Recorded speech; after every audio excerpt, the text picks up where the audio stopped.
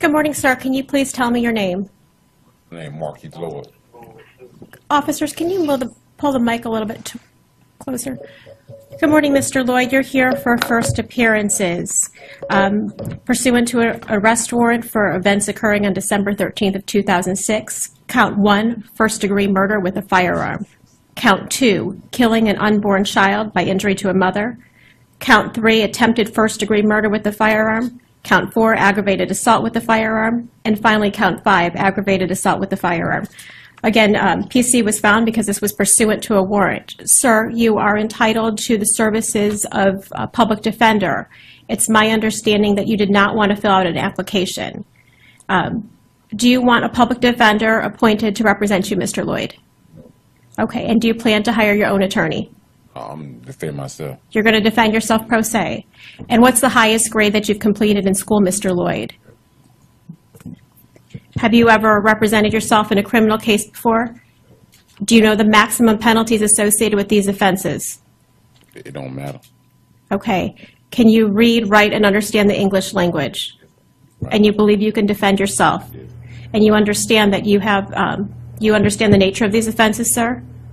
Say it again. And you understand this nature and severity of these offenses, sir? Are you sure you don't want a public defender appointed to represent you? I'm sorry, sir, what did you say? Nothing. Okay, so here's what I'm going to go ahead and do. Um, Well, first of all, I, I got questions to ask. You're here for first appearances on a warrant, sir. Y- Y'all making up shit like I just went on there and, and shot this girl, endangering my family. Okay, a What judge if is a, people want? Cause what if other people want, want to do something back? Y'all, y'all, y'all portray this shit to the news people.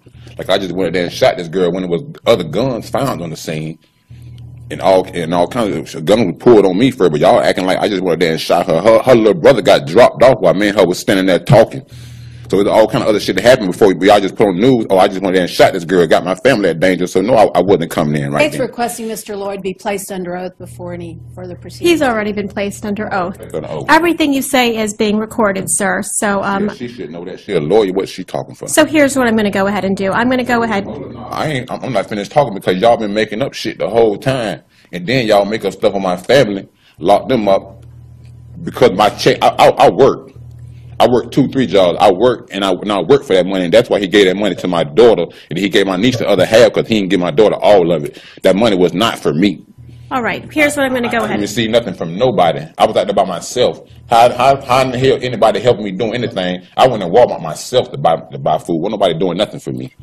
So we're only addressing the one case, and I told you what you're here for. Y'all know about all y'all lies y'all doing. I don't care. I'm I don't set- care about none of that. On counts one, two, and three, bond is going to be set at no bond. Additionally, on counts four and five, I'll set bond at 1,500 apiece, um, totaling no bond plus 3,000. Additionally, I'm ordering um, some special conditions. You are not to contact um, Ronald Stewart, the victim in in one of these counts. Additionally, you are not to contact any witnesses or victims' family members, Ms. Dixon's family members.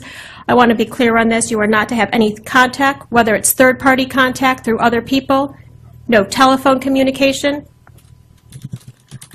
I'll have him read that in just a moment.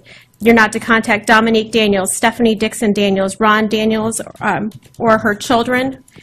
There is a form there that you're going to need to sign off on.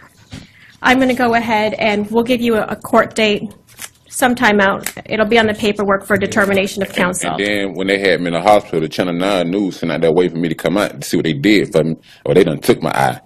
They done broke my nose, broke my jaw. They did all this shit till I resisted, but I crawled out to the motherfucking road. So how did I resist? I ain't resist shit. They just did that shit and they tried to hide it from the news people, but I'm here right oh. now. Corrections, I think we've, we've established everything we need to do in a first appearance hearing. He can be taken after he signs, Lady, fuck you. have him sign the, um, no contact. I'm trying to tell you, fuck you. About that shit.